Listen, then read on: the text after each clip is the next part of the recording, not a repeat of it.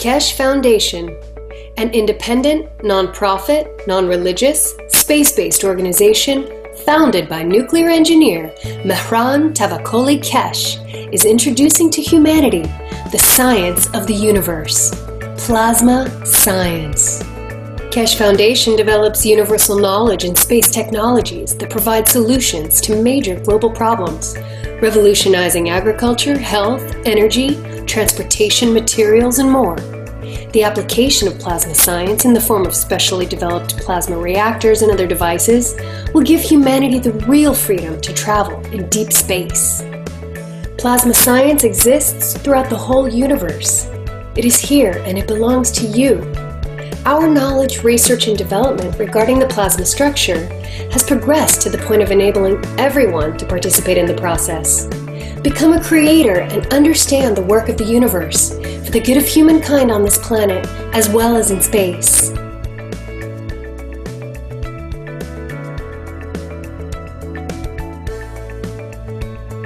The use of megravs, nanomaterials, GANs, liquid plasma, field plasma, and other plasma technologies have come as a new dawn for humanity to progress and work in harmony with the universe.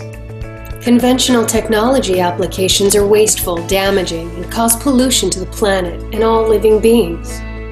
Plasma science provides solutions and improves existing methods and use of resources in all aspects that touch the lives of all beings. Plasma is defined by the Foundation as an entire content of fields which accumulate and create matter and is not defined by its physical characteristics like ionization or temperature. Also, with plasma science, we understand how we can convert matter back to the fields. Quoting from Mr. Cash, MEGRAV stands for magnetic gravitational, which means plasma absorbs or gives. And every plasma has the both. It has give and it has take. And when they can't find the balance, they distance themselves until they find the balance they can give to the others. That they can receive what they want to receive and give further. Certain atoms and molecules release and absorb magnetic or gravitational fields. Released fields are available to be absorbed by other objects. The Keshe Foundation has developed a way to gather these free flowing fields from the environment within a resourceful and beneficial new state of transitional matter, which MT Keshe named GANs. The first step of the process of the formation of various basic types of GANs is nanocoating metals. This is carried out either chemically by etching, steam coating with sodium hydroxide, or thermally by heating, fire coating by gas burner. During either coating process, gaps between outermost layers of atoms are created. The residual coating is often referred to as nanocoating, defined by the structured layers of nanomaterial, which build up during the creation process of the coating. Nano-coated metal in interaction with other various metal plates in a saltwater solution creates MEGRAV fields. These fields then attract available elements to form a specific GANS, which collects and settles at the bottom of the container. This GANS is formed from independent energized molecules like little suns that can be used in various applications.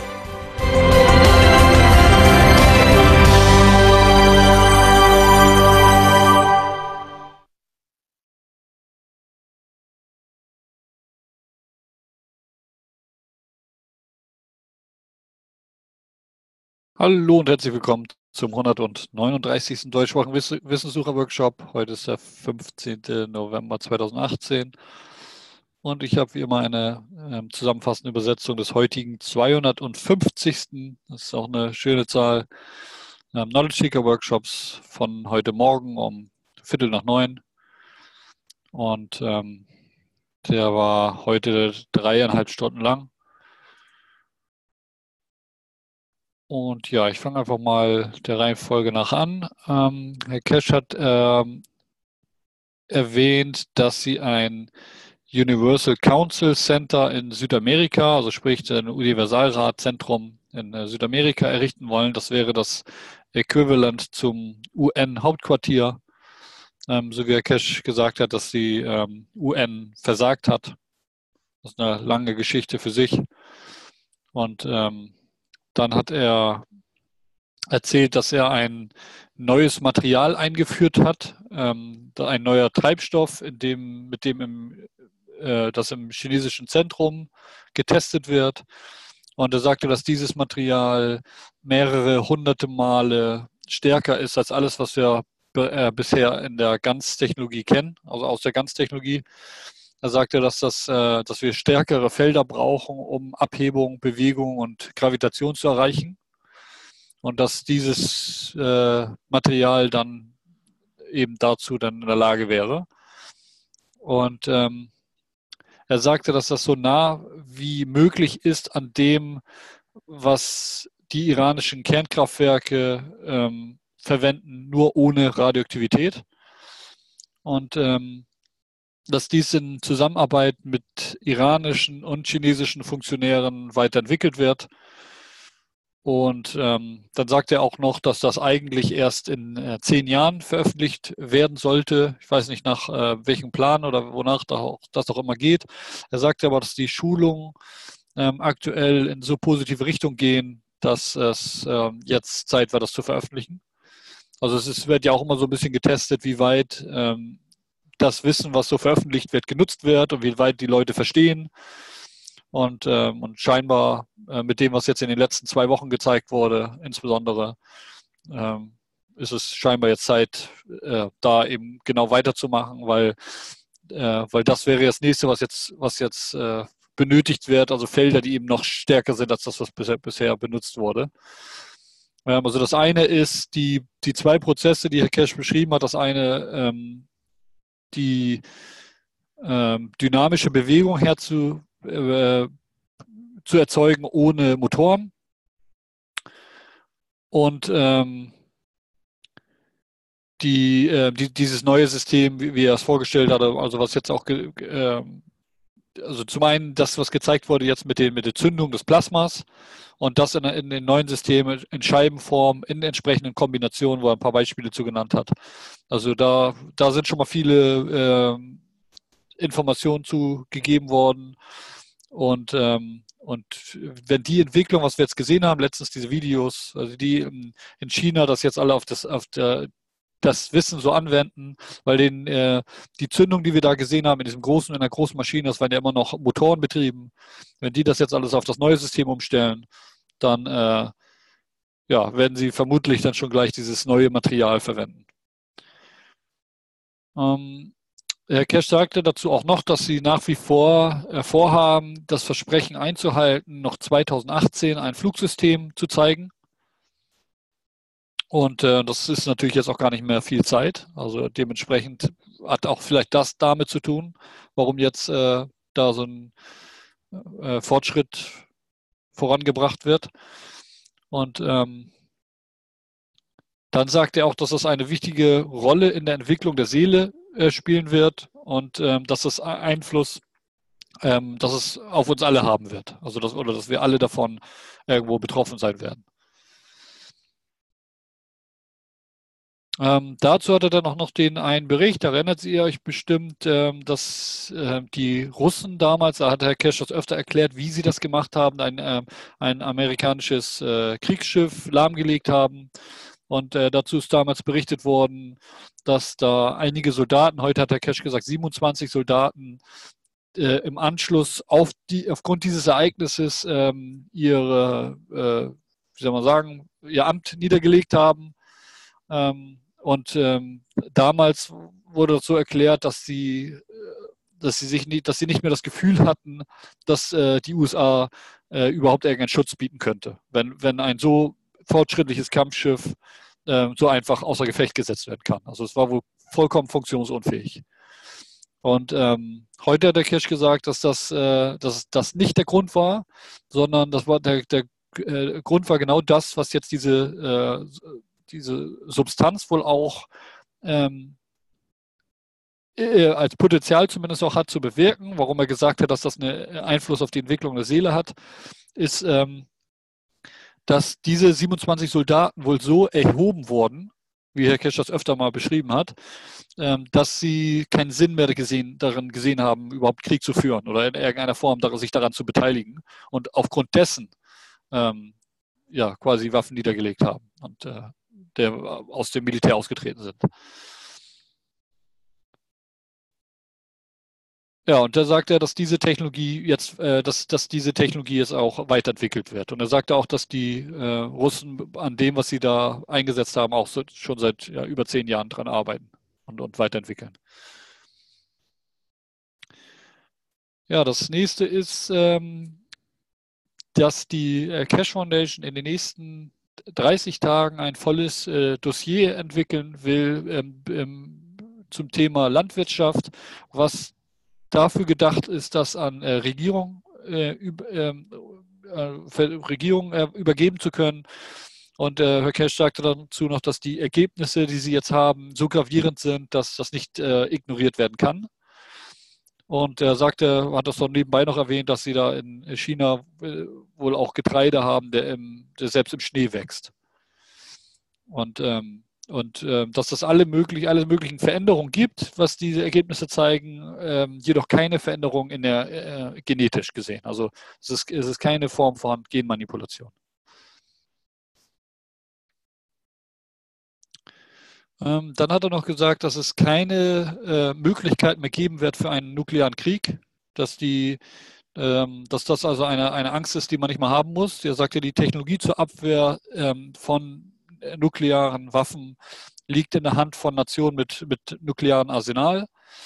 Ähm, und dann hat er noch gesagt, das ist ein, ein, Angebot an die USA, dass die Cash Foundation in Zusammenarbeit mit China alle nuklearen Waffen im All entsorgen will. Ähm, und ähm, so wie das jetzt schon mal vor ein paar Wochen erklärt wurde, äh, wenn man ein, wenn man entsprechende Reaktoren hat, die, die theoretisch so klein sind, dass man sie in, in, in der Hosentasche tragen kann, dann ähm, und hier eine Interaktion zwischen unterschiedlichen Reaktoren stattfindet, dann könnte das sämtliches äh, äh, radioaktive Material, was jetzt insbesondere in so Atombomben verwendet wird, äh, neutralisieren. Und damit wäre, wäre diese das gesamte Arsenal, was quasi dann dazwischen liegt, äh, entschärft. Und äh, das, so wie ich das jetzt hier verstehe, wären das auch ähm, entweder Dinge, die man vorsorglich tun könnte oder ähm, bereits Raketen, die in der Luft sind, vielleicht schon direkt neutralisieren könnte. Also dass dieses, äh, dass diese äh, Technologie soweit äh, äh, bereits ja, einsatzfähig ist. Also so wie er das halt ganz äh, unmissverständlich klar gemacht, dass es keine Möglichkeit mehr für einen nuklearen Krieg gäbe.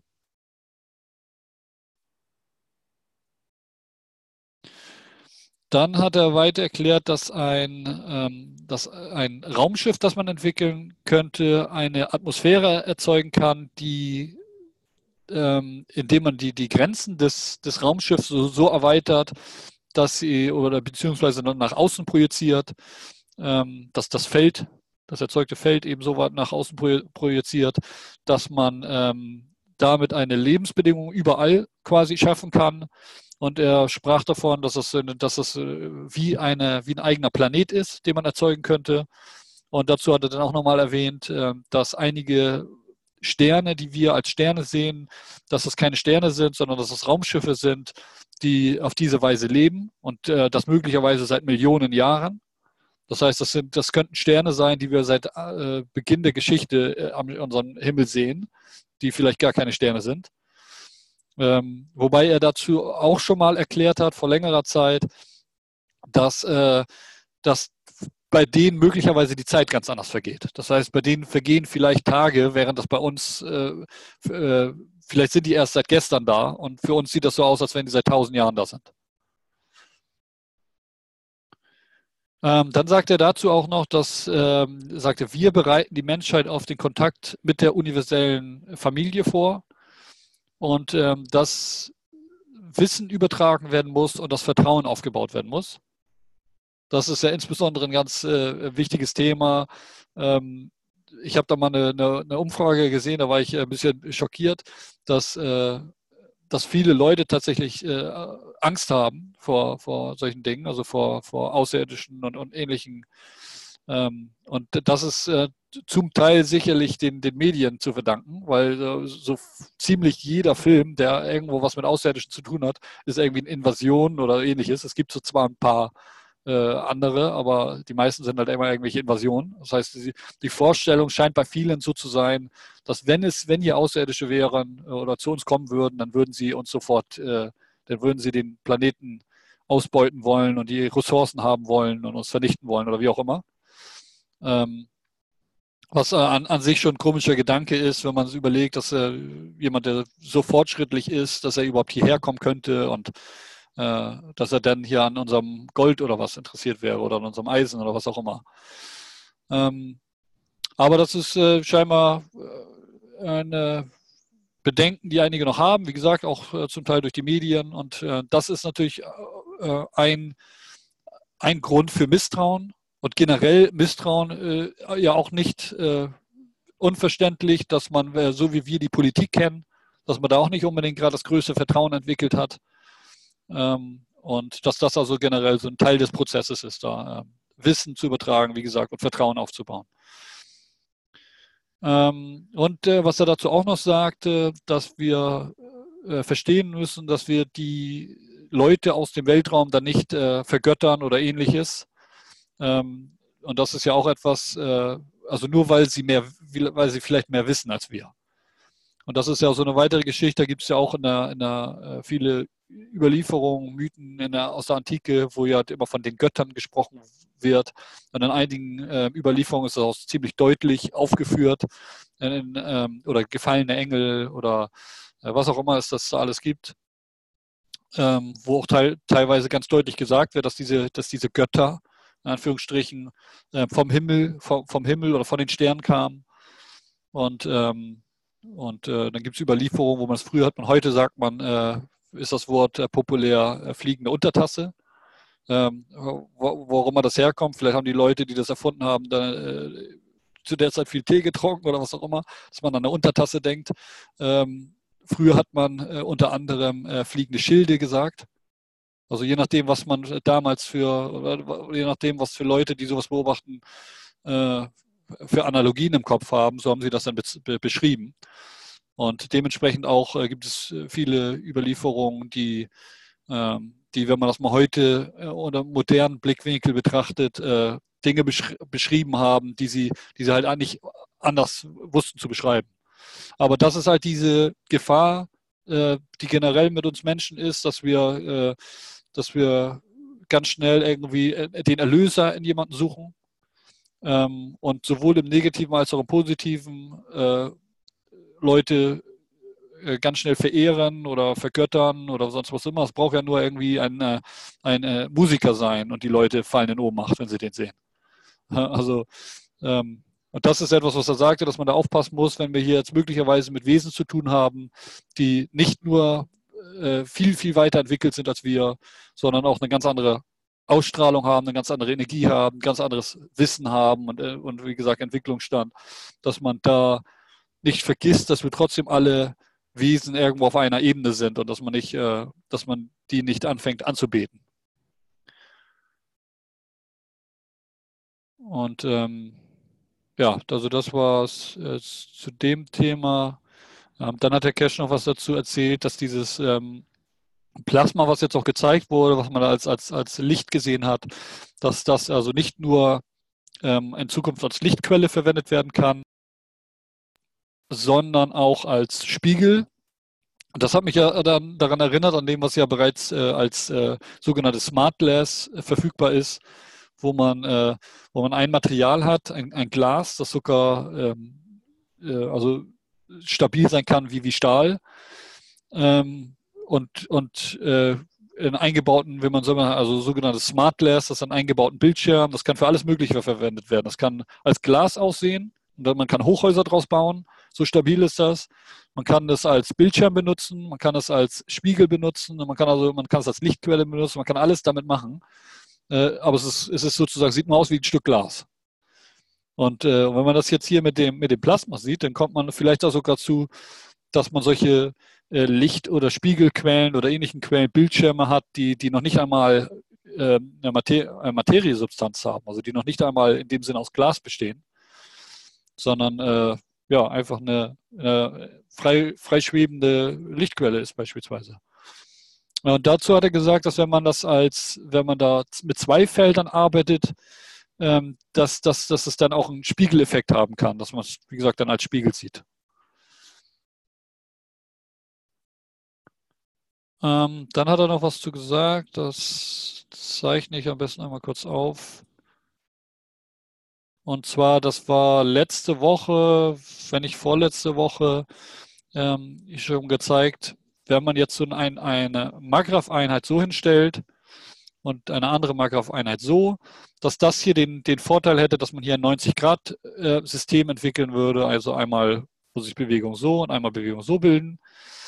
Und ähm, also sprich von den Feldern, die hier ausgehen. Und dann von hier. Also diese 90 ähm, Grad Winkel zueinander stehende Felder. Was, äh, was er heute noch dazu gesagt hat, ist, dass es hier wichtig ist, dass man hier nicht zwei gleiche Magraph-Einheiten verwendet. Das gilt also hier das genau gleiche wie immer. Dass, wenn man hier zwei gleiche Magraph-Einheiten verwendet, die möglicherweise sogar noch von den gleichen Leuten gleich gebaut wurden, dann, äh, dann ist hier, entsteht hier kein Feldfluss. Und ähm, hier dazu gesagt, was man beispielsweise machen kann, wenn man jetzt hier äh, drei Ebenen hat, dass man hier äh, irgendwie da eine, eine, Spule hinzufügt oder hier eine Spule entfernt, ähm, dass, denn, dass hier auf jeden Fall ein, äh, Potenzialunterschied ist. Also das ist ja jetzt im Prinzip auch nichts Neues, aber es ist äh, sicherlich sind hier einige äh, auf die Idee gekommen, da erstmal zwei Magraph-Einheiten so zu verwenden. Und wie gesagt, die, wenn das dann die gleichen sind, dann hat das nicht den gewünschten Effekt. Ähm, dazu sagt er auch noch, dass das, äh, dass wenn man weiß, wie es geht, dass man das, dass man dann auch ein, äh, ein Licht, so wie es gezeigt wurde, mit den Händen ähm, erzeugen kann. Und das wäre das Gleiche, wenn das jetzt hier die linke Hand ist und hier die rechte Hand, dass hier dann ein, äh, ein, ein Feld entsteht. Und äh, also wenn das natürlich, das muss äh, bewusst irgendwo gemacht werden. Und auch hier sei auch das, das, das, das gleiche Prinzip würde hier äh, ähm, gilt hier, dass man das Feld der linken Hand mit dem Feld der rechten Hand individuell äh, kontrollieren können muss, sodass das, dass auch hier ein, ein Unterschied entsteht, ein Feldfluss. Ähm, weil ansonsten würde man so, einen, so einen Effekt dann eben nicht äh, haben. Und auch hier können eventuell Felder erzeugt werden, das, äh, was jetzt nicht unbedingt in, dem, in, dem, in den Spektrum reinragt, wo man das als sichtbares, Lied, äh, sichtbares Licht sieht, sondern, ähm, sondern einfach ein spürbares Feld. Also das ist, das ist etwas, wovon ich schon öfter gehört habe. Ähm, das mit dem Licht ist aber dann schon sehr äh, spezifisch. Also wer das Licht aus seinen Händen strahlen lassen kann.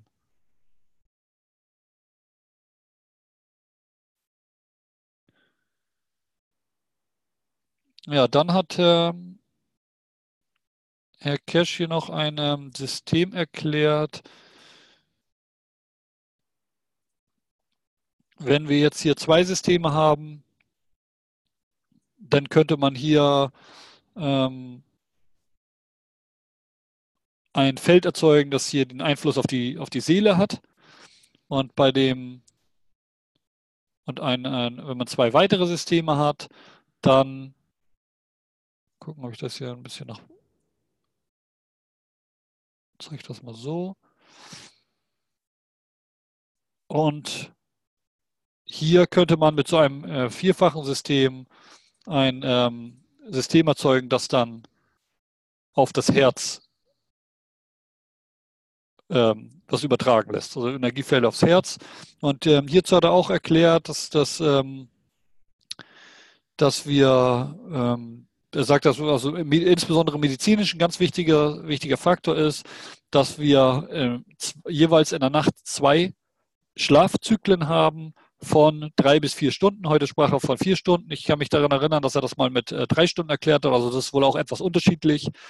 Ähm, und, äh, und zwar, dass man vier Stunden schläft und dass dabei die eine Gehirnhälfte aktiv ist und die eine, der einen Lungenflügel, also die eine Körperhälfte, insbesondere da, wo natürlich, äh, wo wir zwei Organe haben, Niere, Lunge, ähm, Gehirn und so weiter, ähm, und dass nach vier Stunden ähm, das System wechselt auf die andere Hälfte. Und das äh, sagt er, das ist äh, medizinisch deswegen ganz wichtig, weil äh, wenn man jetzt beispielsweise immer zur gleichen Uhrzeit ein, äh, ähm, was weiß ich was, ein äh, Spray benutzt, dann äh, könnte das sein, dass man immer nur die gleiche Lunge, Lungenseite behandelt. Und, ähm, und hier sagt er auch, das ist ein Grund, warum man äh, nach genau vier Stunden äh, öfter wach wird. Weil das ist genau die, die, die Zeit, wo das, wo die, der, das Gehirn oder die, die Seele ähm, umschaltet. Das heißt, wenn wir hier nochmal, nochmal hier ist das Gehirn und gesteuert von der Seele schaltet das dann von einer Seite zur anderen Seite um. Und äh, was er hier auch zu sagt, ist, dass es äh, einige Menschen gibt und darunter er selbst, sagt er, die nur vier Stunden schlafen. Und da äh, läuft das so, dass sie, ähm, sage ich jetzt mal, die vier Stunden die linke Körperhälfte äh, sich erholt und arbeitet und äh, in der nächsten Nacht die vier Stunden dann die rechte Körperseite. Und da hat er zu ein paar Beispiele genannt von Leuten, wo das, äh, äh, wo das so war, wo man sagt wohl auch, dass, ähm, dass Tesla nur viereinhalb Stunden geschlafen hat. Das war als Beispiel genannt und ein paar weitere Beispiele. Ähm, da kommen wir auf, auf wie gesagt, äh, ähm, Zeiten vom Zyklen von zwischen drei und viereinhalb Stunden. Und dass, dass die meisten Menschen eben zwei Zyklen hintereinander haben, aber einige auch ähm, nur ein Zyklus und die nächste, die nächste Körperhälfte wird dann, wie gesagt, am nächsten Tag und das, das wechselt, variiert dann halt in einem 24-Stunden-Zyklus. Ähm, ja, wie gesagt, er sagte, dass das hier eine, äh, für die, die Mediziner ganz wichtig sei zu verstehen.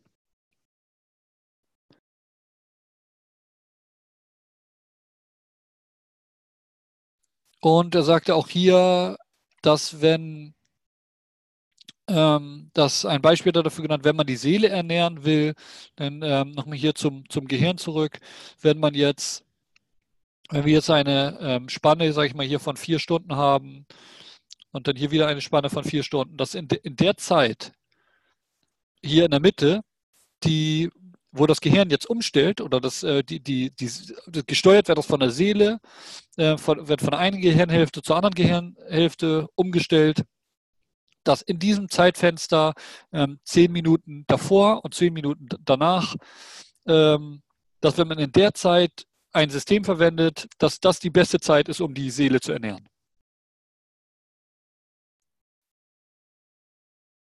Und dementsprechend könnte man diesen Zyklus auch nutzen, um beispielsweise eine, äh, die linke Lunge zu behandeln. Und äh, das ist deswegen ähm, so hilfreich in der Regeneration von beispielsweise der linken Lunge, weil wenn äh, weil die Lunge kann sich viel besser erholen und regenerieren, wenn sie gerade die inaktive Seite ist.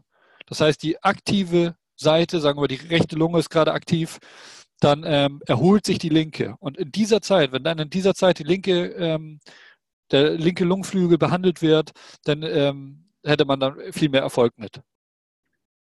Und er hat auch ein Beispiel zu genannt, dass wenn man ein, ein Herz durch ein ähm, ähm, neben das Herz ein mechanisches Herz setzt und dass das Blutsystem eben auf das mechanische Herz umleitet, dass äh, auf diese Weise sich das Herz wieder regenerieren kann, weil es eben äh, nicht arbeiten muss. Und das ist hier das gleiche Prinzip.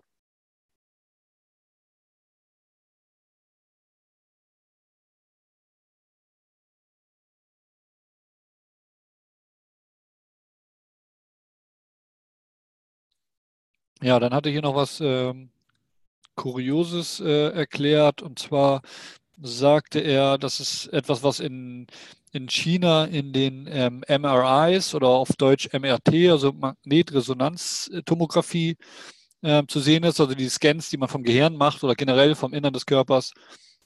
Er sagte, normalerweise sind die Augen so, und äh, wenn das jetzt hier die, die Mitte ist, also äh, zentriert, dann hat er dazu gesagt, bei äh, Chinesen oder zumindest bei vielen Chinesen ist das so, zum einen hat er, das hat er zwar so nicht erwähnt, hat er die Augen ganz nah beieinander gemalt. Ich weiß nicht, ob es das also auch damit zu tun hat, aber gesagt hat, hatte er, dass, äh, dass viele Chinesen die äh, ein Auge näher am Zentrum des, äh, der Nase oder des Gesichts haben als das andere. Und, ähm, und sagte, das ist etwas, was man in, in dem, ähm, in der, im, im Gehirnscan sehen kann. Und zwar ähm, ist die Position des Auges in dem, in dem Fall ähm, nicht die Ursache, sondern nur die Wirkung. Er sagte, dass, es, äh, dass wenn man das, das Gehirn dieser Chinesen sieht, dann sind die Gehirnhälften hier nicht gleich. Und, äh, und so wie man diese, ähm, so wie man das Gehirn sieht, so zeigen sich dann auch die Augen. Und er sagte, dass das äh, dann höchstwahrscheinlich auch eine, Auswirkungen darauf hat, wie, wie die ähm, auf deren ganze ähm, äh, äh, wie soll man sagen, Mentalität, deren Art, die Welt zu sehen. Ähm, er hat als Beispiel genannt, vielleicht glauben sie deswegen an Yin und Yang oder was auch immer. Ähm, und generell ist, äh, ist Herr Cash fasziniert von solchen Unterschieden. Ähm, er hat als Beispiel genannt, in manchen Kulturen haben die, die, die Männer äh, einen besonders starken Haarwuchs und die Frauen nicht. In anderen Kulturen haben die Frauen einen starken Haarwuchs und die Männer nicht. Und äh, er sagt, das ist wohl so wie, wie in, in der Kultur ähm, das definiert wird, was männlich ist oder was weiblich ist oder was auch immer. Und das, äh, und das je nachdem, wie, äh, ja, wie, wie, man, wie man halt die Welt sieht und welchen Einfluss und wie man, äh, wie man sich entwickelt, dass das äh, dann zu unterschiedlichen, auch körperlichen ähm, Merkmalen letztendlich führt.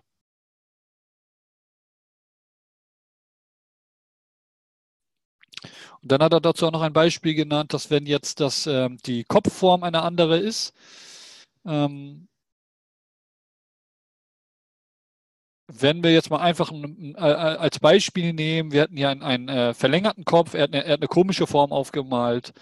Aber Moment, ich mache das mal so. Sagen wir mal, jemand hat einen längeren Kopf und dann ist hier der Sitz der Seele. Und wir haben jetzt hier die unterschiedlichen ähm, Emotionen, die jetzt hier äh, heraus strahlen quasi aus der Mitte raus in, eine, in alle Richtungen. Und ähm, das mache ich nochmal dieses zweite Beispiel. Wir hätten jetzt hier einen mehr runden Kopf.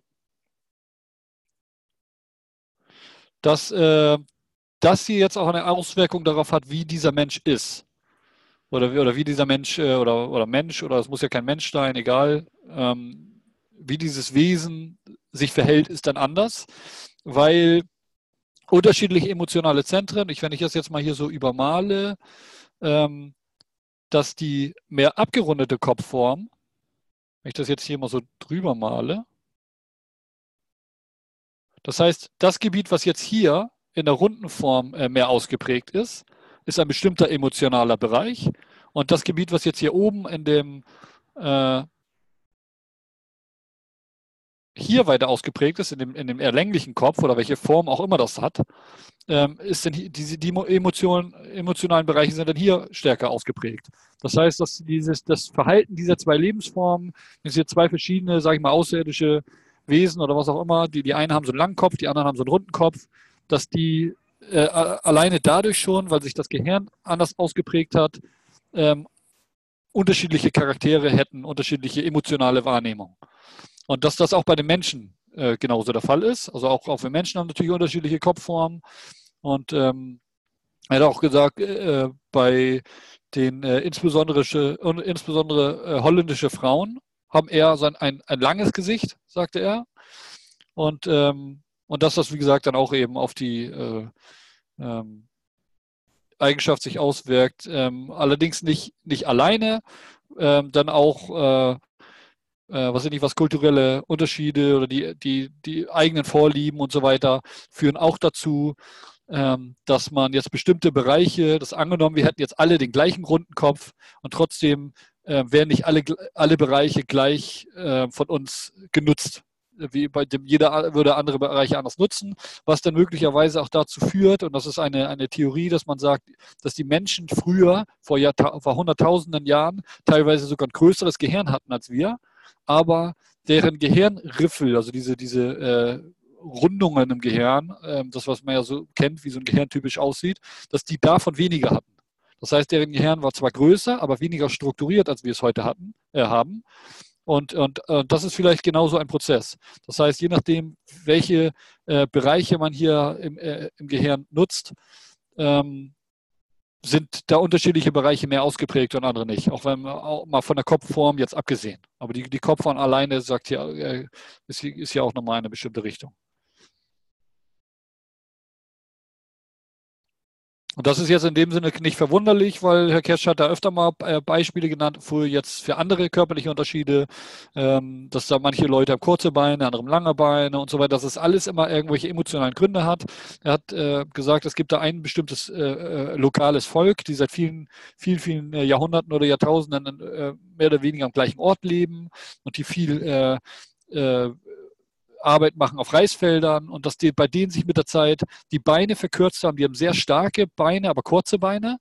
Und, äh, und dass das einfach äh, auf den äh, Wunsch, der emotional ausgelöst wurde, zurückzuführen ist, ähm, eben diese Tätigkeit besser ausführen zu können. Und dass das die, der, der Funke ist quasi für diesen, für diesen evolutionären Schritt, dass sich da so eine Veränderung entwickelt. Und, ähm, und, und deswegen, also in dem Sinne ist jede, ist jede körperliche ähm, Andersartigkeit ähm, und auch darunter die Augenfarben und die Hautfarbe und, äh, und all solche Dinge. Ähm, immer irgendwo ein emotionaler äh, Grund.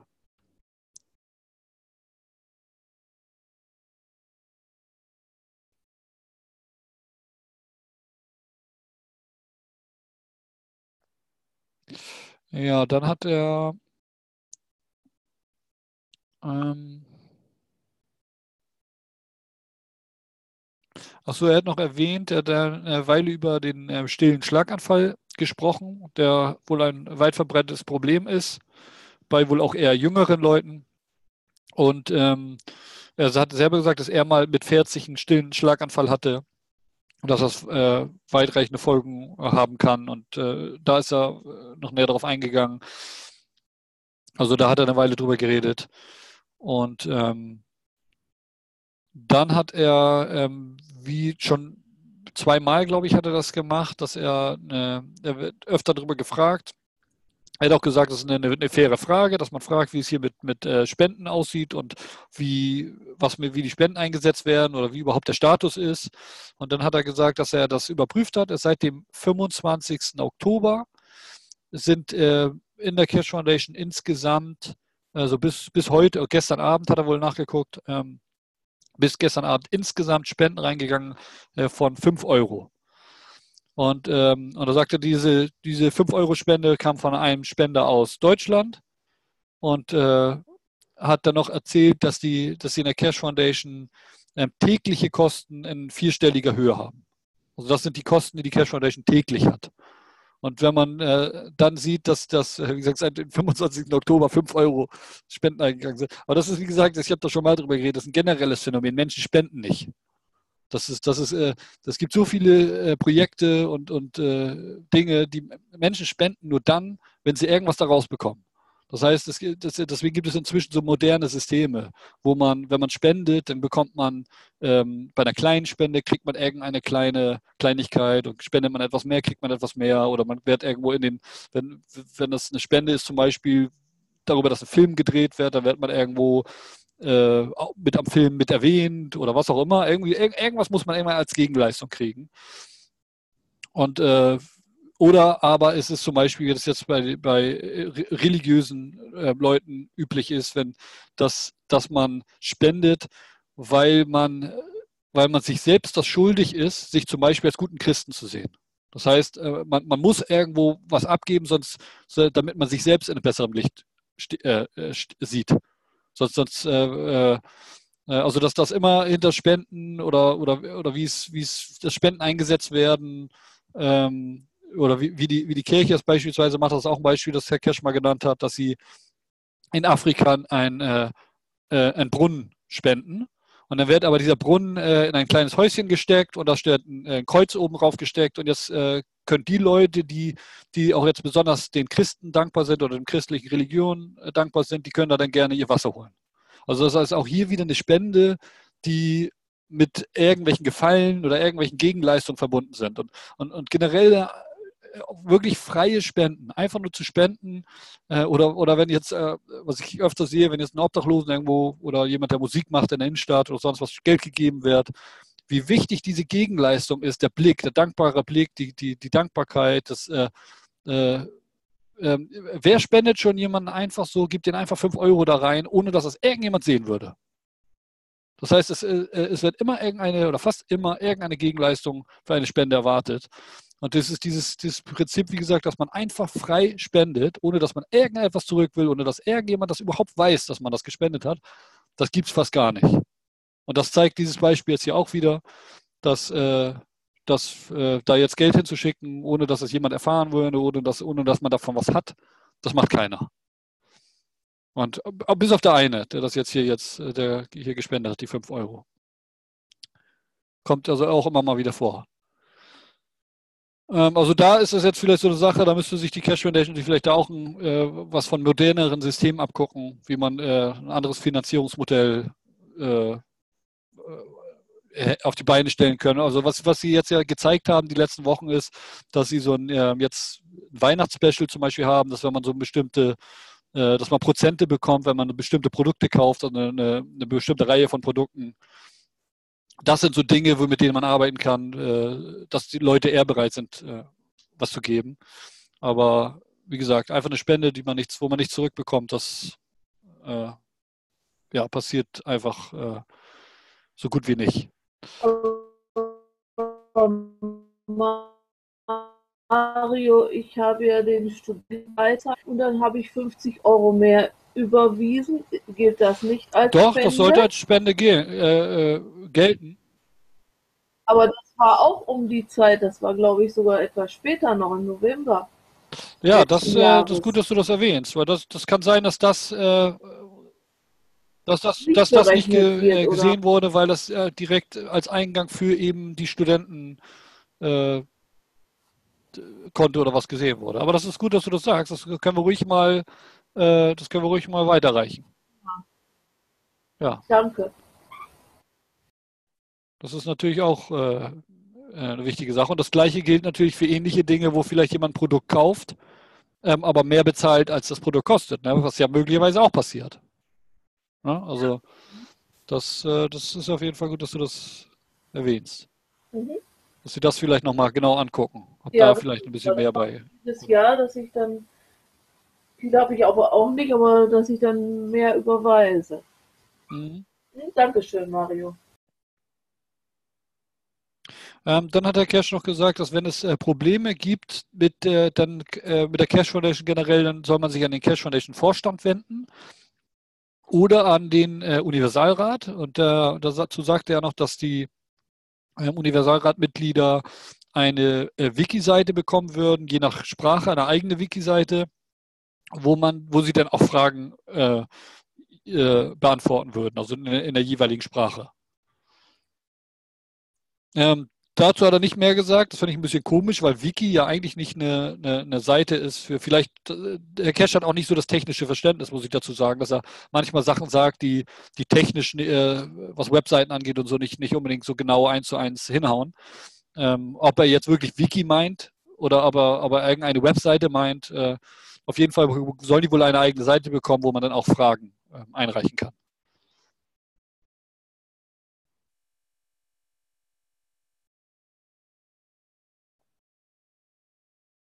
Und dann hat er eine, ja, mal sehen, ob ich das hier noch, das dann hier noch passt. Eine Spirale aufgezeichnet und das ist jetzt mal, sagen wir mal, eine, äh, äh das magnetisch-gravitativ.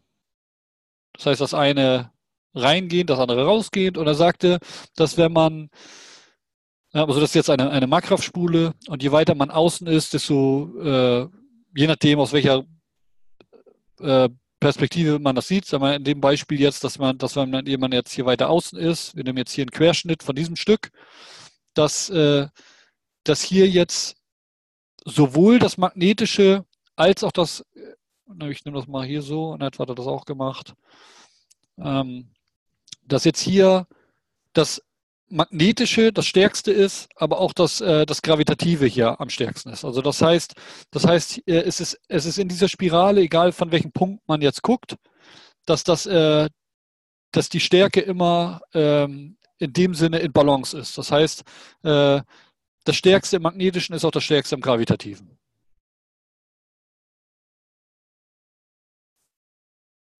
Und da habe ich jetzt, äh, vielleicht kann sich noch jemand daran erinnern, in welchem Zusammenhang er das jetzt hier ähm, präsentiert hat. Das fällt mir jetzt gerade nicht ein. Ich habe mir das hier nur als Notiz, geht es nicht weiter daraus was hervor. Also was ich verstanden habe, äh, ist, glaube ich, dass er damit zeigen wollte, dass äh, die Positionen unterschiedlich sein müssen wegen dem Geben und, und, und Empfangen. Dass es äh, nur Sinn macht, wenn das Gravitative oder das Magnetische unterschiedliche Feldstärken haben, dass eine Interaktion stattfindet. Weil so findet ja keine Interaktion zwischen dem magnetischen und gravitativen Feld statt.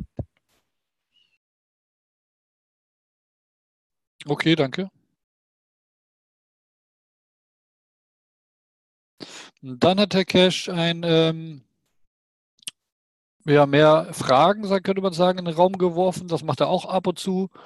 Ähm, und zwar sagte er, wenn, also erstmal, Herr äh, bezeichnet den Körper manchmal als äh, äh, als, als Säuger oder Blutegel übersetzt, also als, als äh, der Seele. Das heißt, der, der Körper ist äh, äh zehrt von der Energie der Seele, wird ernährt von der, von der, Seele, äh, von der Seele und wird letztendlich auch geschaffen sozusagen von der Seele. Und ähm, dann hat, hat er die Frage in den Raum gestellt, äh, wenn die Seele höher ist, warum erzeugt die Seele denn so ein, so ein äh, äh, Blutegel, sage ich mal, so, so, so, ein Säuger, jemand, der, der Energie nimmt. Also warum erzeugt die Seele einen Körper? Er hat das als ähm, gesagt, wenn die, wenn die Seele, die auf einem, einem höheren Zustand ist, an einer höheren energetischen Form, ähm, dann muss es doch aber irgendetwas geben, wofür, sie, wofür die Seele den Körper braucht. Oder, oder was die Seele ohne den Körper nicht kann. Und ähm, und dann hat er noch gesagt, warum plant die Seele die Trennung vom Körper von Anfang an? Das heißt, dass wir jetzt beispielsweise 80 Jahre alt werden ähm, und dann der Körper irgendwann wieder, äh, der halt irgendwann der Körper wieder ablegen und der Körper wieder, das stirbt halt.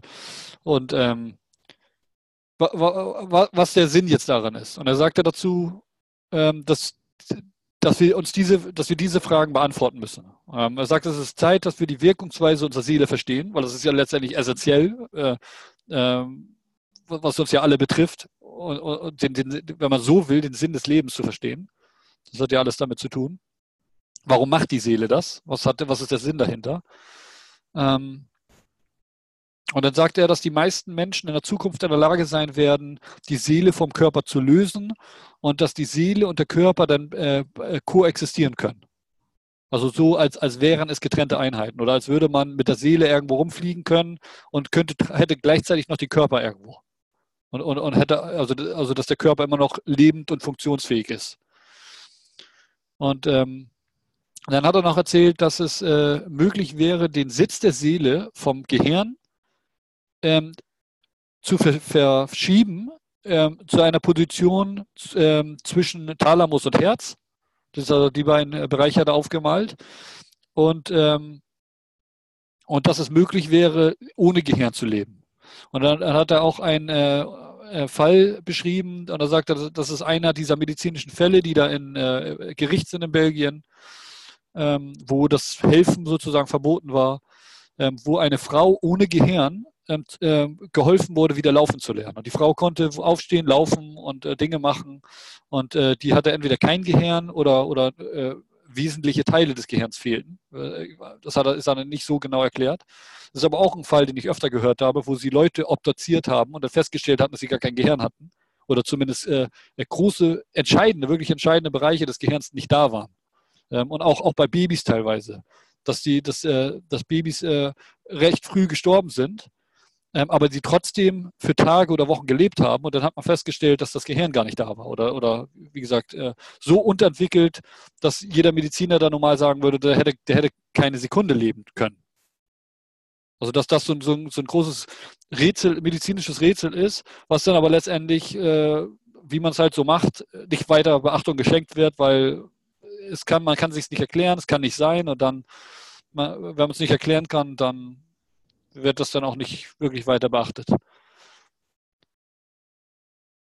Ähm, dann hat jemand gefragt, ob es, ob Hämorrhoiden sowas ähnliches seien wie Herpes. Herr Kesche mit Herpes, diese ganze Erklärung mit Herpes und wie das ausgelöst wird ähm, und die, die Ursache dafür. Und dazu hat Herr Kirsch gesagt, nein, dass es, äh, dass es nichts mit Herpes zu tun hat, es ist aber, dass es aber etwas Psychosomatisches ist.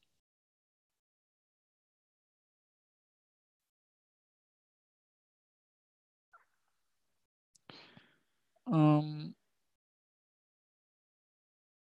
ja, und dann hat er am Ende nochmal, so wie letzte Woche auch, das äh, finde ich immer ganz gut, dass er so am Ende das nochmal so ein bisschen zusammenfasst, nochmal so ein paar Hinweise oder Tipps gibt, äh, die ja darauf abzielen, äh, nochmal weiter zu, äh, äh, mit der Entwicklung jetzt weiterzuhelfen. Und das ist das gleiche hat er letzte Woche gemacht. Ähm, und dann hat er am Ende nochmal gesagt, dass äh, dass man äh, jetzt sehr äh, vorsichtig sein soll, wie man sein Flugsystem füllt, wie man das lädt. Und er sagte auch, dass man einen Abstand haben soll von dem System von drei bis fünf Metern. Ähm, und dass man besser mit zwei Systemen arbeitet. Und hier hat er das auch noch erklärt, dass die besser funktionierenden ähm, Raumschiffsysteme zwei Systeme haben, wo das eine System das ist, was nach vorne projiziert wird. Also wenn das jetzt das ist, was man hier nach vorne projiziert, ähm, dann ist das das Feld, was man, wo man, wo man sich hin, hin, ähm, hin heranzieht. Da zieht man sich ran. Also man projiziert jetzt quasi ein Feld irgendwo weit vor sich, sei es äh, 10 Meter oder 10 Kilometer oder wie auch immer. Und äh, zu diesem Ziel ähm, zieht man sich dann ran. Das wäre die Fortbewegung, die im Gegensatz wäre zu dem, wie wir es jetzt haben mit Rückstoß, also mit Raketen oder was auch immer. Und dann sagt er noch in Bezug zum ähm, Abschirmen oder zu Schilden, dass äh, man bedenken soll, dass die gravitativen Kräfte sitzen im Innern und nicht außen. Ja, das sagt er noch, wie gesagt, noch zum Abschluss. Ähm, das war es jetzt erst erstmal mit meiner, meinen Notizen. Gibt es dazu noch irgendwas zu ergänzen?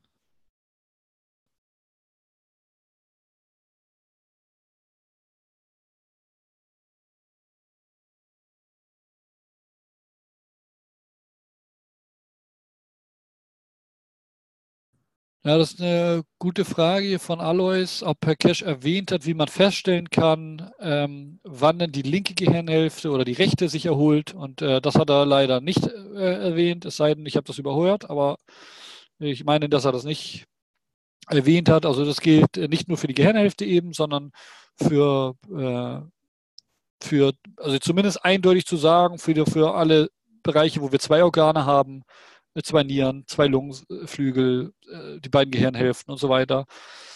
Ähm, und er sagt ja, das ist auch ein Grund, warum wir nie ganz schlafen, also nie ganz weg sind. Das ist also ein Teil von uns ist immer wach. Man kennt das ja insbesondere bei Tieren. Ein Hund weiß man, der schläft nie ganz. Der, der ist immer irgendwo mit einem Ohr da.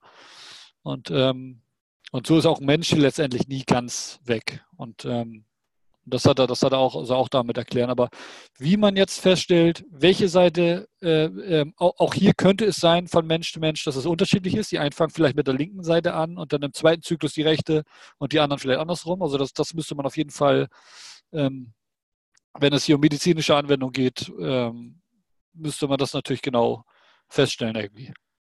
Aber wie gesagt, das, das habe ich jetzt nicht rausgehört, dass er das erwähnt hat, wie man das feststellen kann. Mario ist denn linke Gehirnhälfte gleich linke äh, Lungenseite, dass die dann ruht und rechte Seite, wenn die aktiv ist, dass die dann äh, die rechte äh, Körperhälfte aktiv ist. Ist das so gemeint gewesen, wie du vorhin gesagt hast? Ähm, das hat er so nicht äh, deutlich gesagt, aber ich meine, dass es andersrum ist. Das heißt, wenn die, also man weiß, dass die linke Gehirnhälfte die rechte Körperseite steuert.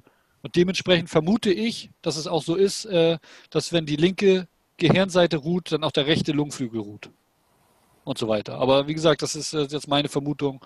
Das hat er jetzt nicht so äh, deutlich gesagt.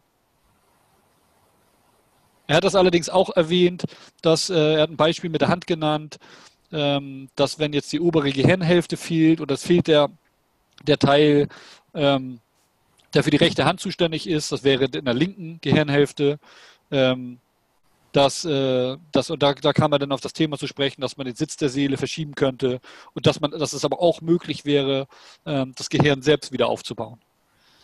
Ähm, und das wäre dann ein Austausch auch von Seele zu Seele. Also man würde direkt die Seele ernähren und die wäre dann dazu in der Lage, die, die Gehirnstruktur wieder neu aufzubauen. Und, ähm, aber wie gesagt, ich, ich vermute, dass es dann eher so ist, dass sie, die, wenn die linke Gehirnhälfte ruht, dass dann die rechte Lungenflügel ruht. Aber das müsste man, wie gesagt, bevor man das irgendwie medizinisch anwendet, müsste man das ja sowieso testen, wie das jetzt genau ist.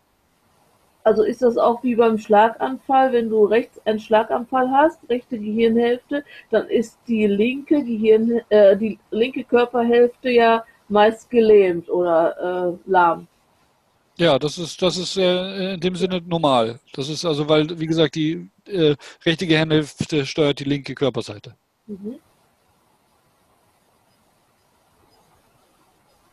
Also ich weiß, bei den Fußreflexzonen ist das so, ähm, wenn man die massiert, weil ich hier Fußreflexzonenmassage auch mache, ähm, dass alles, was im Kopf ist, das geht äh, an die gegenüberliegende Seite.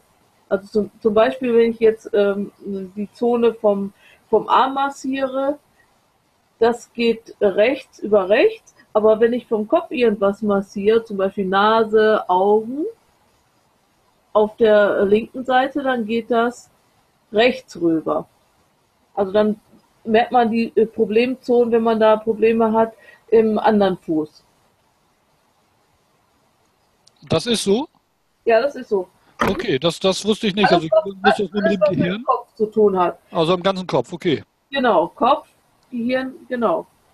Alles was im Kopf. Wenn du jetzt hier zum Beispiel Nebenhöhlen hast und hast, äh, hast rechte Seite äh, Probleme, äh, Nasennebenhöhlen, äh, Stirnhöhlen, dann hast du auf, auf dem linken Fuß diese Problemzonen. Dann tut das richtig weh, wenn man da massiert. Also so weiß ich das beim Kopf, äh, äh, bei den Fußreflexzonen geht das nur die Kopfzonen gegenüberliegen. Deshalb frage ich wegen der Lungenhälfte, weil du das erwähnt hast. Ja, weil die rechte Hirnhälfte die linke Körperseite versorgt und die linke Hirnhälfte die rechte Körperseite versorgt. Ja. So ist das so, was du genau beschrieben hast jetzt. Ich vermute aber, dass Herr Cash etwas anderes meint, wenn er sagt, die Hälfte ruht. Das heißt nicht, dass da kein Blut fließt oder dass die, die rechte Lunge nicht beatmet wird. Das heißt es definitiv nicht. Also ich vermute, dass er dort etwas anderes meint, wenn er ruht sagt. Ich kann das deshalb sagen, weil wir auf der Intensivstation äh, Menschen überwachen ja. und die Elektroden auf dem Brustkorb. Und äh, wenn die rechte Lungenhälfte nicht äh, belüftet ist, dann würde das sofort Alarm auslösen. Also das ist nicht so, mhm. dass es da keine Belüftung von der Lunge gibt. Ich glaube, er meint da was anderes. Vielleicht kann man dann nochmal nachfragen. Wir können ja Fragen stellen jetzt. Ja. Was er genau meint unter Ruth wenn er sagt, die Hälfte, die rechte Körperhälfte oder die linke Körperhälfte ruht. Ja, das habe ich, als er das erzählt hat, habe ich mir auch gefragt, weil das wäre etwas, was leicht äh, bekannt wäre. Ne? Also das, wär, das würde man ja wissen, ob man nur mit einer Lungenseite atmet. Ähm, ja, aber äh, ist die Frage energetisch oder was auch immer, weil er hat sogar das Beispiel genannt, dass wenn man ein Spray benutzt, dass es dann eventuell nur für die eine, dass man immer nur die eine Lunge behandelt. Also das heißt, vielleicht atmen beide Lungenseiten, aber äh, vielleicht verarbeitet oder, oder in irgendeiner energetischen Form ist die eine im Regenerationszustand und die andere nicht. Irgendwie so? Ich vermute das auch oder, oder plasmatisch gesehen. Oder wie man das jetzt von Pflanzen auch kennt. Ne? Die Nachtschattengewächse wachsen, wachsen, Nacht, wachsen nachts und, äh, und ruhen sozusagen tagsüber oder andersrum, dass da vielleicht irgendwelche Entwicklungszyklen dann mal aktiv sind oder mal nicht aktiv sind. Ja.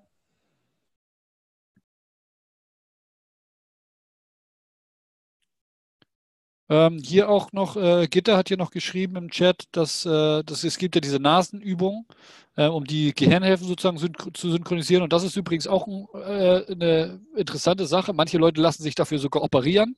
Äh, ich kenne das sogar so ein paar Fälle, die, äh, die immer nur aus einer Nasenhälfte atmen. Und ich meine, das hat Herr Cash nämlich auch mal erklärt, dass das ganz normal ist, dass man meistens nur mit einer Nasenseite atmet, weil das immer dann ähm, die eine Gehirnhälfte äh, mehr versorgt werden muss. Das ist die, die gerade aktiv ist. Oder die, und das hat auch was damit zu tun, ob man gerade analytisch denkend ist oder ob man gerade kreativ tätig ist. Das ist etwas, was man mal für sich selbst bei sich beobachten kann. Je nachdem, was man gerade tut. Hört man gerade Musik, ist man gerade kreativ, malt man was oder ist man am Denken, Rechnen, sonst was, äh, welche, durch welche Nasenseite man dann gerade atmet. Äh, ähm, und in manchen Fällen, wenn der, der Übergang von der einen Seite zur anderen wechselt, dann atmet man auch durch beide. Aber dass dieser, dass diese, dass diese, äh, dieser, diese sage ich mal, Eigenartigkeit, dass man nur durch eine Seite atmet, wohl nicht unüblich ist, sondern ganz normal ist sogar. Ähm, wobei nicht immer, unbedingt immer. Ähm, und da gibt es halt diese, diese Nasenübung oder äh, auch oft im Zusammenhang mit Meditation, wo man die eine Nasenseite zuhält und dann, dann äh, atmet und dann die andere Seite zuhält und dann atmet und, äh, und so dann äh, ja, beide Gehirnhälften eben mit äh, zu versorgen. Aber da gibt es wahrscheinlich unterschiedliche äh, Übungen. Ich weiß nicht, äh, Gitter das hier nur ganz kurz erwähnt. Nasenatmung, mal rechts, mal links, kurz mal zusammen und so weiter. Also wer, wen das interessiert, der kann ja zu dem Thema auch nochmal weiter ähm, forschen. Da gibt es auf jeden Fall einiges zu.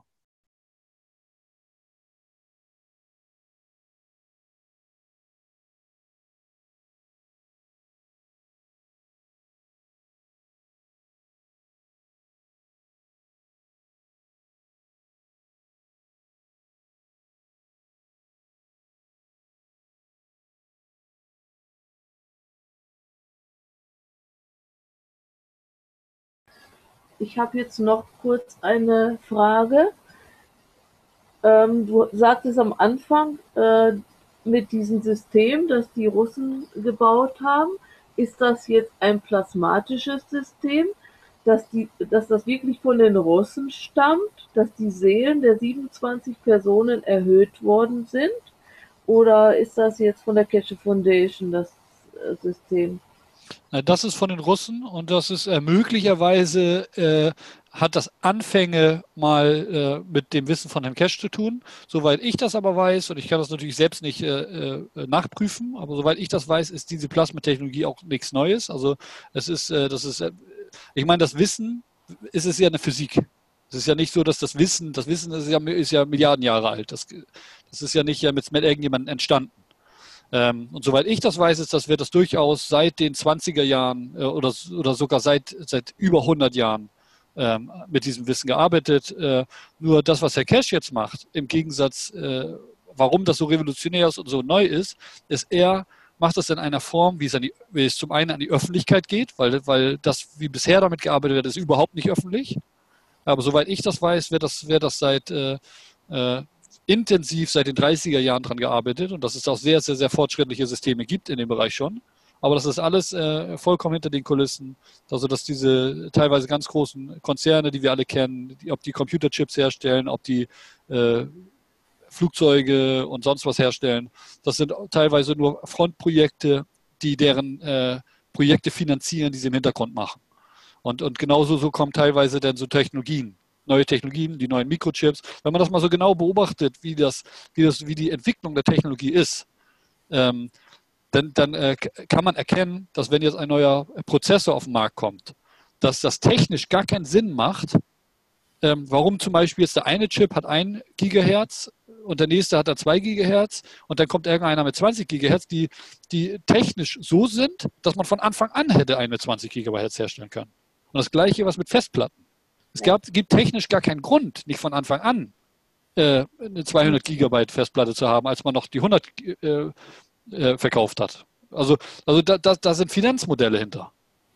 Das, das sind nicht wirklich technische, äh, ähm, sind ja keine komplett technischen Neuerfindungen, sondern es wird uns in Häppchen verkauft.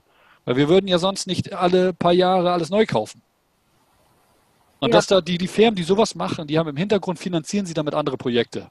Und das sind, äh, äh, und da, da wird auch mit Plasmaphysik gearbeitet. Also jetzt mal nicht, äh, wie gesagt, mit der Physik selbst. Die Physik selbst ist nichts Neues und auch die Russen und auch die Iraner und auch die Amerikaner und äh, im, größten, im größten Sinne, so wie ich das äh, verstehe, sind das gar nicht die Regierung, sondern es sind Konzerne, die, die international arbeiten und, und inzwischen viel, viel mächtiger sind als, als jede einzelne Regierung auf der Erde. Also es ist nicht so die, in dem Sinne, dass man sagt, das sind die Russen oder das sind die Amerikaner, sondern das sind, das sind Unternehmen. Das sind weder Russen noch Amerikaner. Das sind die, die sind da, wo sie gerade, wo, sie, wo es ihnen nützlich ist zu sein. Aber ich finde es allerhand, dass die das schaffen, äh, die Seele dieser 27 Menschen zu erheben. Und wir geben uns so viel Mühe und befassen uns damit und wir kommen einfach nicht weiter. Weißt du, wie ich das meine? So, dass äh, wir versuchen das und arbeiten dran. Und dass die jetzt schon so weit sind. So wie Herr Kesche ja. sagte, dass das dadurch gekommen ist. So wie ich das gehört habe von dir.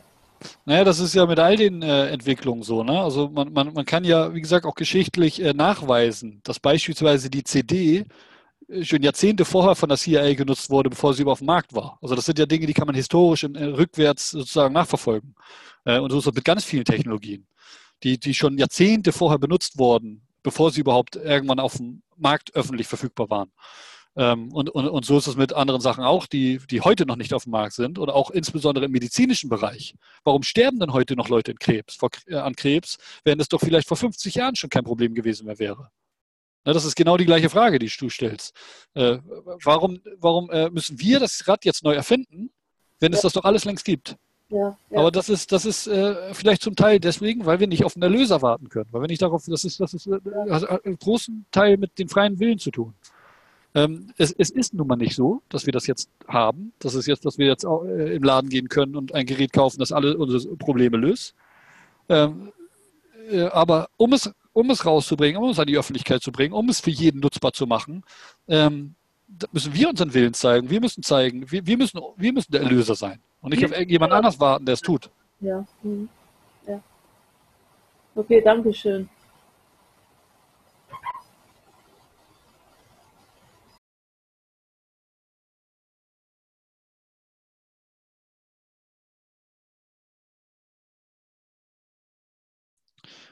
Ähm, Gab es noch irgendwelche weiteren Fragen? Ich habe das jetzt im Chat, sehe ich jetzt auf die Schnelle keine.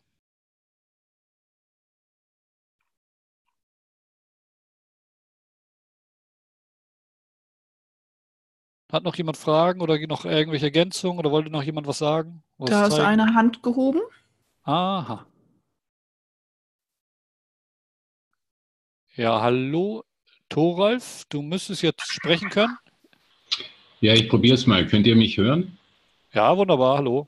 Ausgezeichnet. Vielen Dank. Freue mich da zu sein. Danke für die Hilfe. Ich habe äh, eine Frage, wäre untertrieben. Es ist ein ganzer Sack voll. Es ging, ich war heute auch nicht im ganzen Meeting da, habe aber gehört, dass es unter anderem ums Gehirn ging. Ich habe oder verfolge jetzt die alten Meetings seit und habe da im Juni 17 etwas gehört, wo erklärt worden ist, die Behandlung zu Gehirnschäden.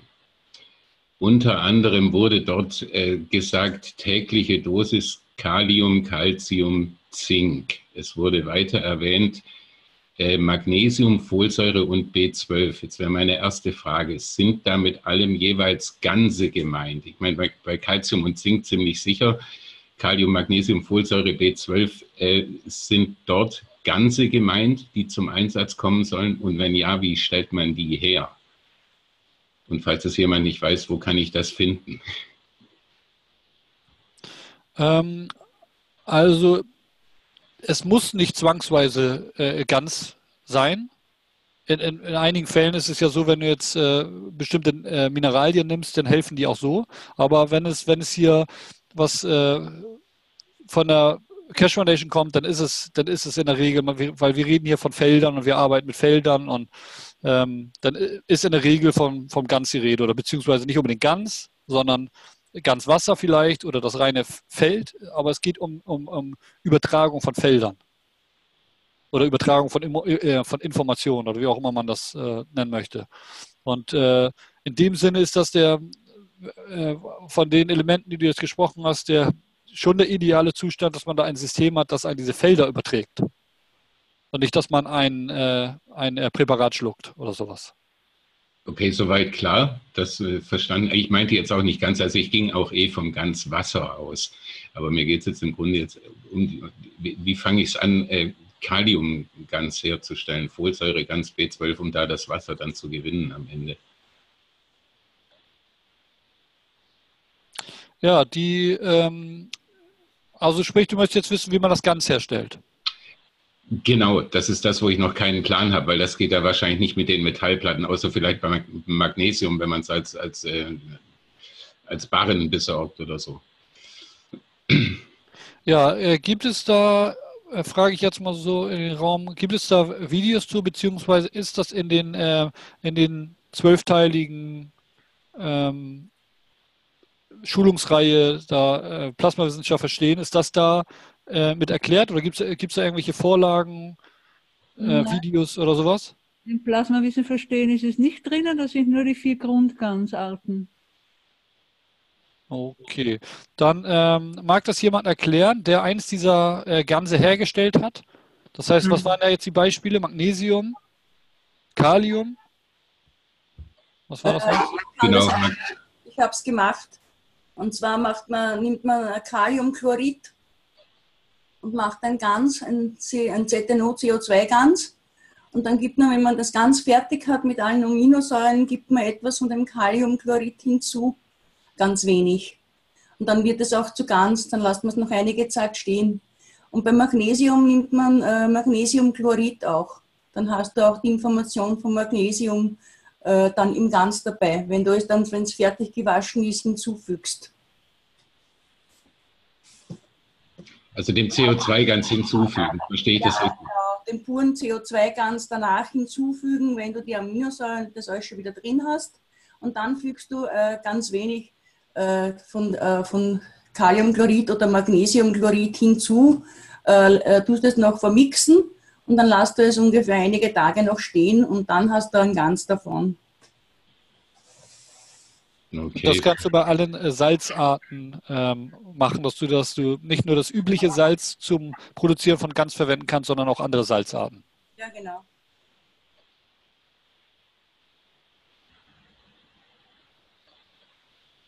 Da bin ich jetzt nicht sicher, ob ich es richtig verstanden habe mit den Salzarten. Also, dass ich bei der Ganzproduktion jetzt bei äh, CO2 beispielsweise jetzt nicht Meerwassersalz nehme, sondern ein, ein anderes Salz. Ich nehme an, du redest von den zwölf Salzen. Genau. Okay.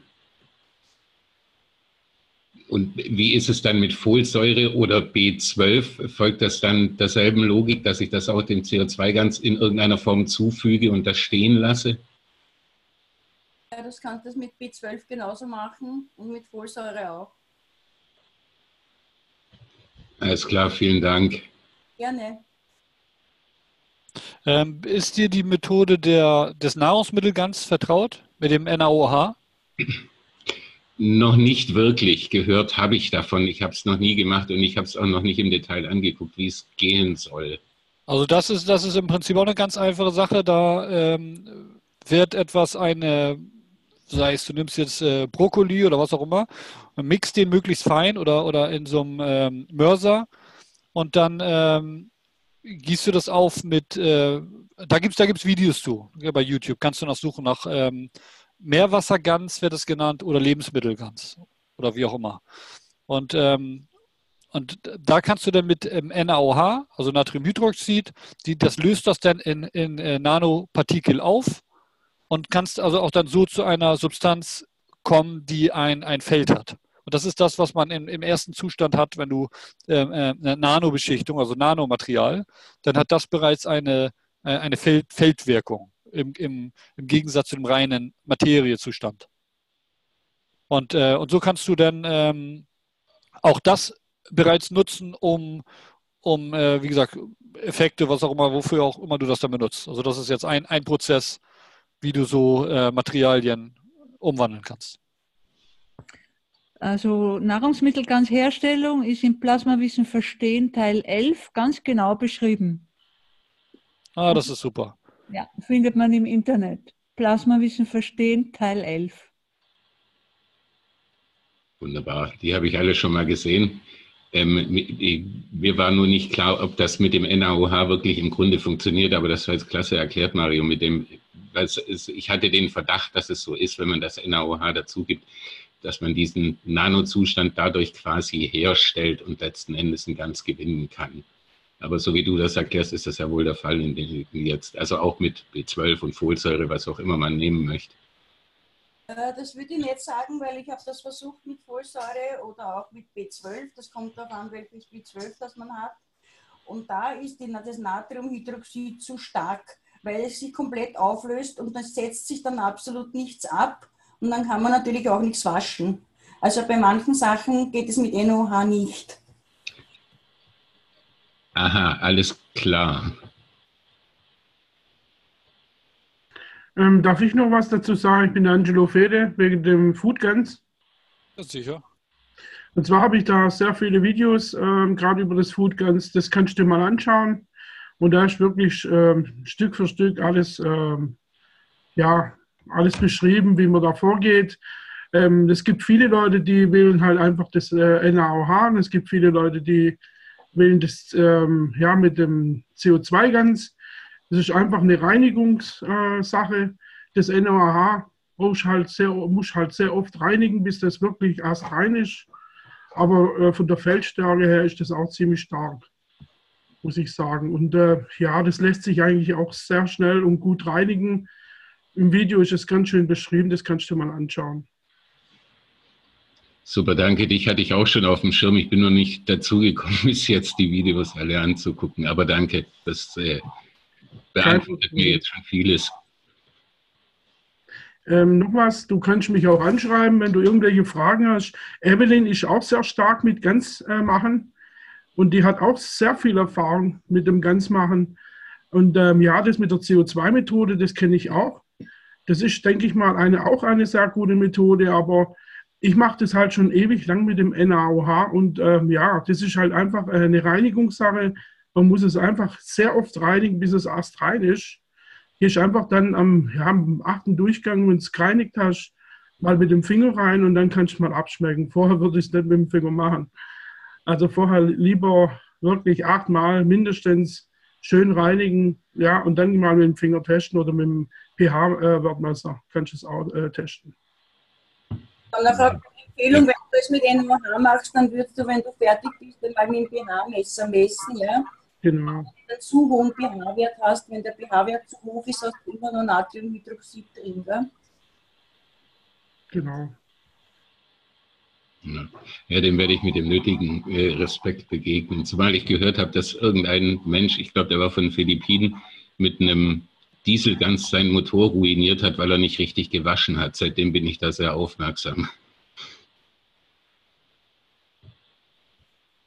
Ja, da gibt es ja verschiedene Methoden. Du kannst auch mit, mit äh, 30-prozentiger Salzsäure kannst du auch arbeiten, aber das ist, ähm, wenn du ölige Sachen äh, arbeiten, ähm, verarbeiten willst, dann nimmst du mehr die Säure.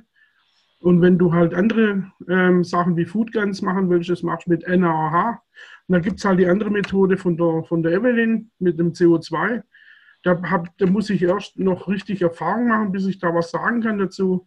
Aber es scheint eigentlich auch äh, eine andere Methode zu sein, um das zu machen, wie du das vorhast. Ich werde mir beide mal angucken und äh, eher ausprobieren. Einfach auch noch ein bisschen Informationen sammeln und die Intuition wirken lassen. Äh, wenn du jetzt sagst, ich kann dich anschreiben, wo kann ich dich denn anschreiben? Ähm, ich habe gerade in, in, den Chat einen Link reingetan von meinem neuen Video. Und da findest du mich gleich. Also da kannst du mich gleich anwählen. Da wollte ich sowieso den Mario fragen, ob der Zeit hat, die drei Minuten sind. Ja, das wollte ich gleich zeigen.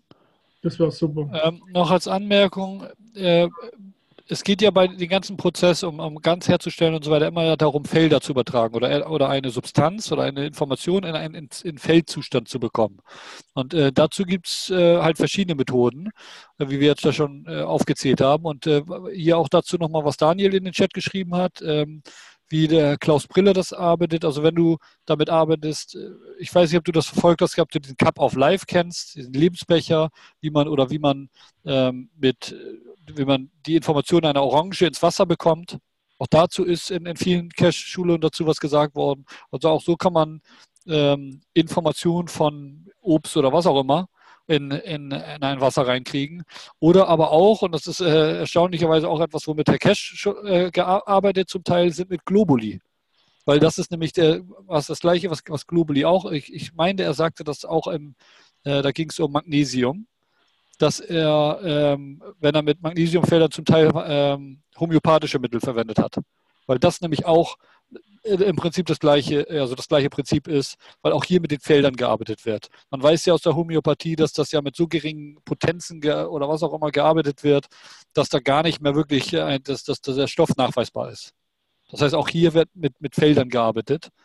Ähm, nur nicht unbedingt in so einem hohen ähm, Spektrum, wie das jetzt vielleicht ganz äh, aufweist. Aber äh, das Prinzip ist immer, äh, ähm, an, die, an die Essenz äh, einer Substanz ranzukommen, also sprich an die, an die Felder.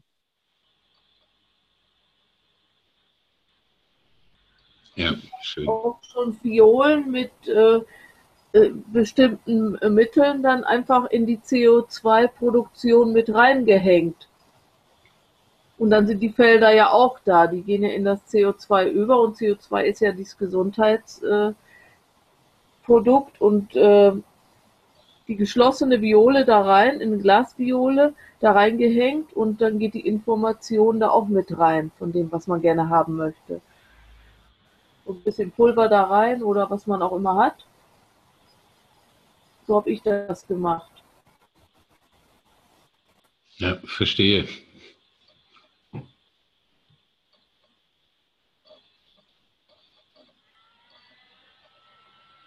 Äh, Angelo, du kannst gerne hier was dazu sagen oder wenn ich pausieren soll oder so. Ich lasse das jetzt einfach mal so laufen. Ich hoffe, der Ton, der sollte an sein. Und wie gesagt, sonst äh, kannst du gerne da noch zu erklären. Hallo, Jan, das ist mein neuer Reaktoraufbau. Motorlos. Da habe ich als Hilfsmittel noch zusätzlich die, ähm, die Spulen, die gekodete Spulen mit äh, zu Hilfe genommen. Ja, das ist ein sehr starkes Feld, was das, was das erzeugt. Und zwar in der Mitte erzeugt das ein starkes Feld. Da habe ich aber ähm, anderes Grenz gewählt jetzt. Da habe ich mal das Tritium, Wasserstoff und ähm, Deuterium gewählt, unten. Und oben das CO2. Ist ein gebendes und nehmendes Feld gleichzeitig. Das füttert und, und gibt gleichzeitig. Ja, das habe ich erst heute frisch ähm, fertig gemacht. Ich habe da noch eine andere Variation, die habe ich auch schon äh, fertig gemacht. Die habe ich auch geteilt im Meeting. Und das ist ja das andere, wo ich ähm, euch vorgestellt habe. Das habe ich mir so vorgestellt. Da habe ich auch die Zeichnung gezeigt. Moment, die Kamera.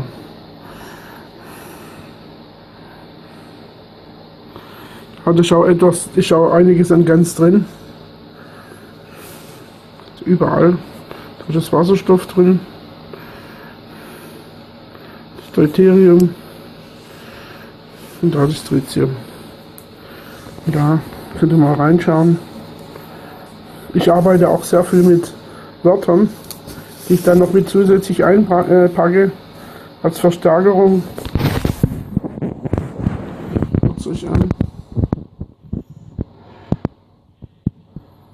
Jetzt einfach mal ähm, arbeiten lassen. Ich spüre das Feld ist ziemlich stark, wenn mit der Hand so rangeht. Ein sehr starkes Feld. Man spürt es in der Innenhandfläche. Oh.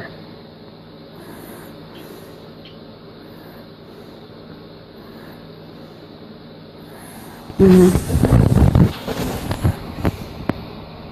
Ja, das wollte ich euch mal vorstellen und macht viel mehr, weil da ist so viel mehr, wo wir noch verstehen müssen. Gerade ist die Kombination jetzt gerade mit den Kugeln. Also jetzt mal auch einfach mal motorlos mal zu probieren. Ich mache auch ziemlich viel mit äh, Motoren. Da bin ich auch schon ziemlich weit gekommen. Jetzt brauche ich halt nur noch mein Tesla-Messgerät. Ja, dann geht es gerade weiter. ja, probiert auch mal mit verschiedenen Ganzfüllungen ähm, und so und dann können wir ja uns gegenseitig, äh, gegenseitig ein paar Informationen austauschen. Wäre mal interessant. Nochmal ein Aufruf von mir an euch. Ich danke euch mal. Ciao.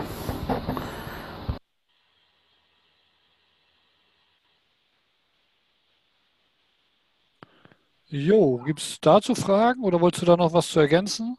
Ja, ich bin da jetzt mal, ähm, ich habe ja sehr viele Experimente mit Motoren, wo, wo ich nebenbei laufen lasse und das sind jetzt neue Projekte, wo ich äh, nebenbei auch zusätzlich laufen lasse, um einfach die, das mit den Feldern besser zu verstehen. Deswegen auch mal motorlos zu schauen, was sich da feldmäßig äh, entwickelt. Und ja, das sind auch sehr starke Felder. Es kommt immer auf die Kombination an von dem Ganz. Und der Abstand habe ich gemerkt, dass das sehr entscheidend ist. Ja, und das mit der Kupferspule, das macht auch schon Sinn. Aber es muss auch jeder selber mal testen. Ja, und sich so langsam, langsam äh, dran hinarbeiten. Das ist meine, so meine Empfehlung.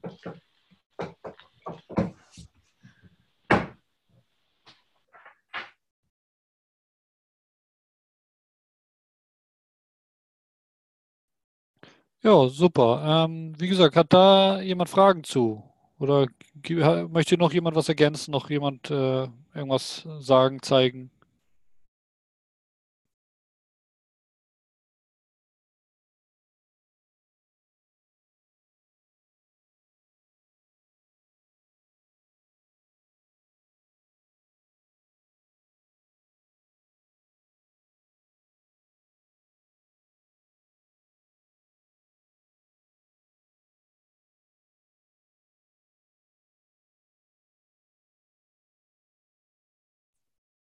Na gut. Dann äh, war es das für heute. Das war dann der 139. deutschsprachige Wissenssuche-Workshop. Und heute ist der 15. November 2018.